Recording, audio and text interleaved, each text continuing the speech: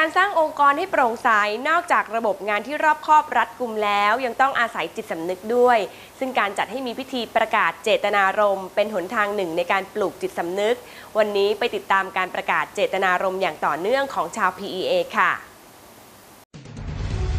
สตพโปร่งใสต่อต้านคอร์รัปชัน สำนักงงานตรวจสอบภายใน PEA ประกาศต้านโกงรวมสร้างองค์กรโปร่งใส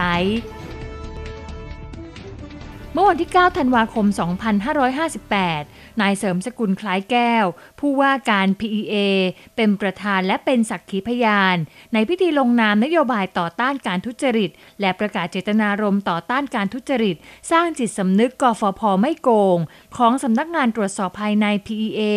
โดยมีนายสุรศักดิ์ไตรทาน รองผู้ว่าการทรัพยากรบุคคลร่วมในพิธี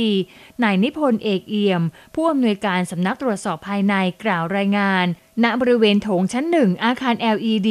สำนักงานใหญ่ PEA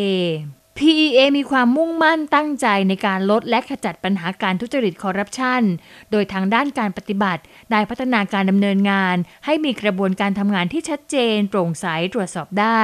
นอกจากนี้การสร้างจิตสำนึกกฟพไม่โกง ก็มีความสำคัญไม่ยิ่งหย่อนไปกว่ากัน การจัดให้มีพิธีประกาศเจตนารมณ์จึงเกิดขึ้น ณสำนักงานการไฟฟ้าต่างๆ ทั่วประเทศ และดำเนินการมาอย่างต่อเนื่อง เพื่อให้ครอบคลุมทุกสายงาน